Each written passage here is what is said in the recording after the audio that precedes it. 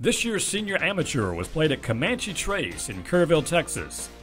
David Pocknall of Katy came charging from four strokes back to catch Jerry Hudgens of Houston and a tie for the lead after 54 holes to force a sudden death playoff. Pocknall, who's a New Zealand native and winner of the South Mid Amateur, carded the low round of the day at 69 and then carried his momentum into the first playoff hole, which he won by draining a slippery 12 foot downhill putt. Chuck Palmer of Dallas finished alone in third place after dropping a key shot on the par 5 17th that took the wind from his sails and dashed his hopes for a win.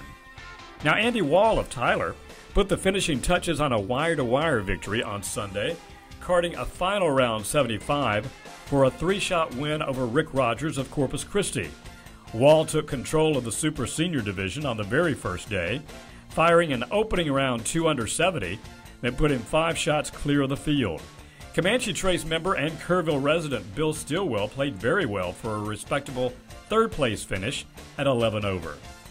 David Pocknall sat down with us after today's win to discuss the past couple of days. What do you think of the rest of the field? Uh, you look at the people that played in here.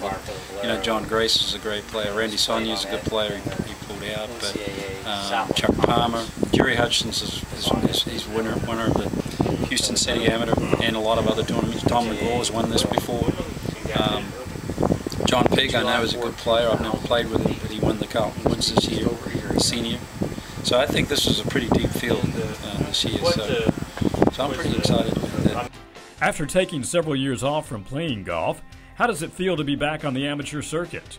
To come back and have a place to play like the TGA and the medalists in Houston and, and um, uh, the South Region events have been fantastic. Uh, it's been, um, it's, it's just amazing.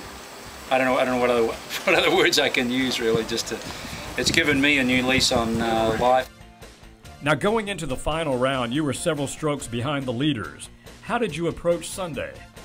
You've just got to have you got to have some breaks, um, and you've got to stay you've got to stay positive. I knew going into today, even four behind um, Jerry and um, and and Chuck, that I was in with a chance. I had it. I, I, was lying in bed thinking last night I need to go out and shoot 67 today to, to really to, to wrap it up and and Lord knows I could have done. I had a couple of three putts out there and and um, and I missed a couple of couple of real quite short putts. And so, you know, 69 in, in the in the last round is always it's always fun. Congratulations to David Pocknall, the winner of the 2009 Texas Senior Amateur Championship. The Texas Golf Association would like to extend its sincere thanks and appreciation to the members, staff, and volunteers of the club at Comanche Trace for their generous hospitality in hosting the 73rd playing of the TGA Senior Amateur Championship.